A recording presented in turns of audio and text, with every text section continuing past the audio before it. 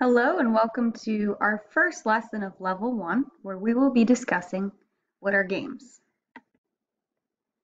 And now you'd think we'd start with the definition of a game, but this is actually pretty hard to do because there's so many different types of games. So to start, I'm going to say that the definition of a game is pretty fuzzy. And instead of going right for the definition, we're going to start by defining what games are there really isn't a solid, conclusive definition of a game. Online, if you Google it, you're going to find many different definitions of a game. So how do you know what one is the right one? The definition has room for interpretation because games are so diverse, like I mentioned before. We have board games, video games, sporting events, puzzles. It's hard to sum up all of the different types of games into just one single definition. So instead, we're going to start by trying to describe what games are rather than how they can be defined. The first thing we know about games is that they are playful. And there's a couple of different definitions of play. Play can mean to engage in activity for enjoyment and recreation, or they can mean to take part in something. Now, the first definition that we have there, to engage in enjoyment and recreation, I want you to consider the sentence, the children were playing outside. Now, in this sense, the word playing tells us that the children were enjoying themselves or that they were doing some type of recreational activity. And um, there it's easy to come to the definition of play. Or if we look at the second definition that we have there for play, which is to take part in something. I have the sentence example of I play softball. Now this tells um, your listener that you take part in the game of softball, which we um, sum up through the verb of play. There's a relationship between play and work in nearly every game experience depending on your actions as a player. Play means acting for fun and work means acting for purpose. When one is engaged in play, they often become immersed in the flow of the experience. And we've all experienced the, this before if you've ever lost track of time while you were playing a game. This delightful flow state occurs when the player is both having fun while acting for purpose. However, we're going to save this conversation about flow state until level two because it actually has a lot larger of a role in gamer motivation, which is what we're going to be learning about next. However, if you think about your own experiences as a player in any type of game, whether it be a sport, a video game, a board game, I'm sure you've experienced this type of flow state before. And part of the reason why you experience this is because you are combining play and work, having fun while acting for purpose. Another thing that we know about games is that games are interactive. Games are different each time you play, and this is what we mean by interactive. Not just the experience itself is different, but sometimes the actual game itself is different based on the decisions that you make. Now, I know I have a lot of different athletes in my student population. Um, a lot of lacrosse players, hockey players, football players, wrestlers. I have just about someone represented on every sports team here at North. Now, every time you have a game or a match, you're playing the same game technically, no matter what that game may be. However, the experience is different every single time based on the decisions that you make and the decisions that your teammates make as players on the team, beginning from that very first whistle. And this is what draws players into games. The same goes for board games and video games too. I love to play board games. Although I've played the same game, like Scrabble, multiple different times, I've never had the exact same outcome or experience twice. Again, this is what draws players into games. You are enjoying the play, but because of the interactive level of it, the fact that um, they're constantly different and changing based on the decisions that you make, make us enjoy them and make us keep coming back to continue to play them again.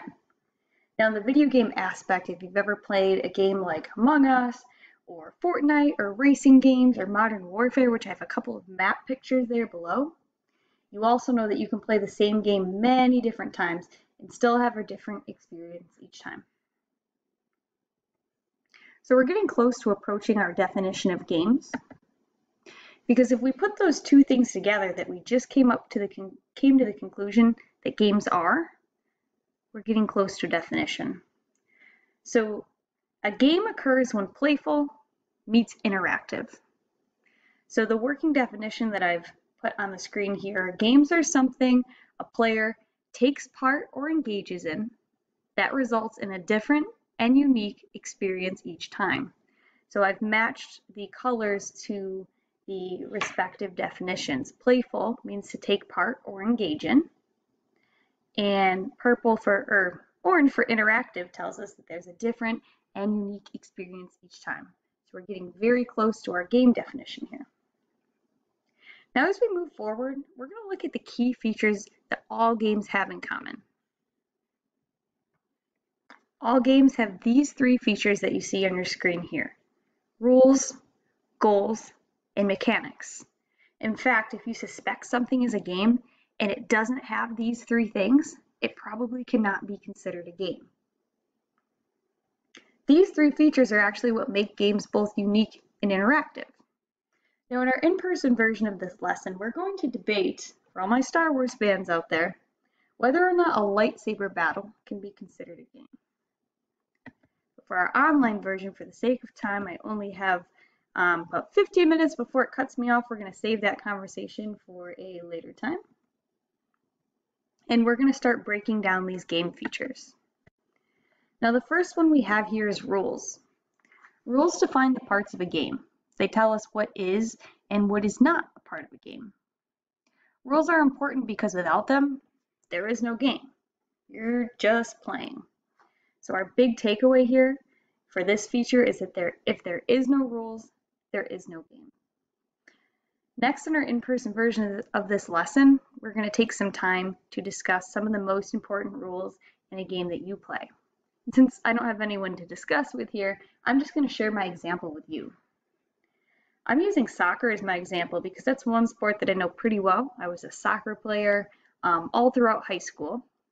And one of the most important rules in the game of soccer is that you cannot use your hands. Now, without this rule, it wouldn't quite be soccer. You could use your hands to move the ball from one end of the field to the other, you'd be playing a completely different game. So this rule plays a critical part in telling us what soccer is and also what soccer is not, and therefore it's a very crucial part of soccer being considered a game. So next we're going to move on to that second feature, which is goals. Goals create direction and narrative in play. Goals imply an outcome and guide, but not force actions. If there is no goals, it is not a game. It's just a toy. Now I have an example here. I want you to consider a Rubik's Cube. Now when you play with a Rubik's Cube, you have a goal that's kind of guiding the movements that you make to the Rubik's Cube. And your goal is to get all six of the respective colors lined up on their side. So since you're, when you're playing with a Rubik's Cube, you're working towards that goal or that outcome of having all of, the, all of the colors line up, a Rubik's Cube is considered a game. Now my second example, I want you to consider a ball. Now there's a lot of different games that can be played with a ball, but a ball itself outside of a game is just a toy because there's no implied goal or outcome when you pick up a ball. Um, it's up to you how you choose to play with it. But since there's no set goal, it's just considered a toy. Now in my in-person version of this lesson, we're going to debate the game Sims and whether, or we're going to debate Sims and whether or not it is a game or just a virtual toy. And since we don't have time for discussion in our video version of this lesson, I'm going to share my conclusion with you. One would play with a sim almost as if one would play with a Barbie doll. Is a sim not technically a virtual doll? On that basis, I'm going to call Sims a virtual toy. The world of Sims is basically just a virtual dollhouse in which the player can develop personal goals within that game, but the, in the game itself, there's no definitive goals that players are working towards. So under that understanding, Sims is just a virtual toy. So now we're going to move on to our final game feature, mechanics. And bear with me with, for this one. This is just our first introduction to mechanics, and it might seem a little bit confusing or a little bit tricky in this first explanation, but we're going to work with mechanics a lot closer throughout level one, and you should be pretty comfortable by the end. Mechanics tell us that games are interactive systems, and there's an entire process that keeps the momentum of the game going. It starts with the game pushing out info or input to a player. So think of this like a scenario. So whether it be a challenge or something along those lines, the game pushes out some type of info to the player.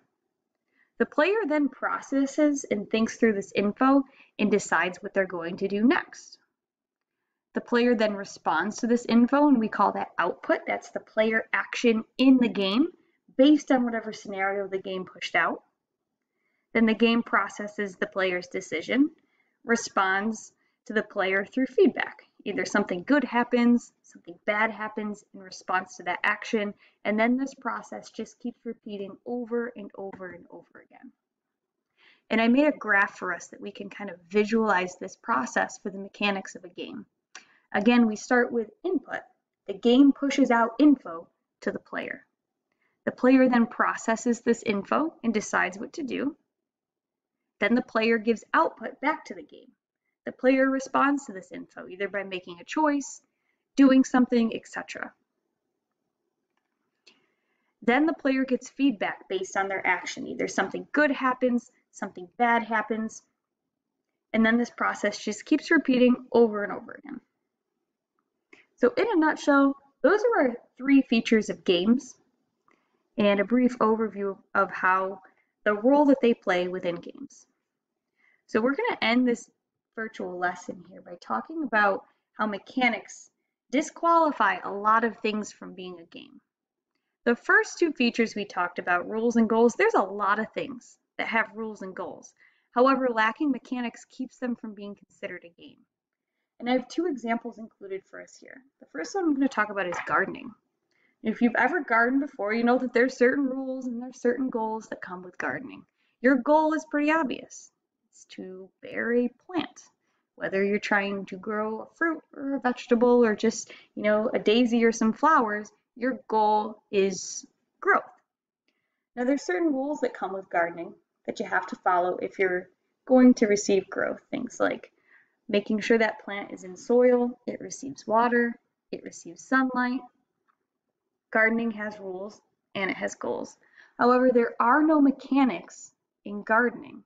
There is no process of input, processing, output in feedback.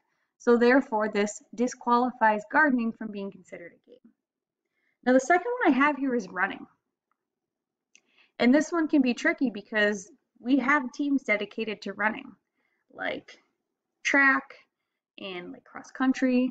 People run marathons, 5Ks, things like that. However, running is not considered a game because it does not have mechanics. Of course, there's rules and goals associated with running. Your goal might be to achieve a certain distance or to achieve a, a certain time. And there's rules that go along with running too. Like I know in some running like leagues or whatever, you can't wear jewelry when you're running, you can't wear certain types of shoes. However, there are no mechanics when it comes to running. No process of receiving input processing that input, player giving out output, and then the game processing that feedback. So therefore running is not considered a game. It's just an activity. We would end our in-person version of this lesson by discussing what other activities we can brainstorm that have rules and goals, but not mechanics. So this is where we leave this virtual lesson for today. Be sure to check Google Classroom for any challenges that go along with this lesson and other activities accordingly.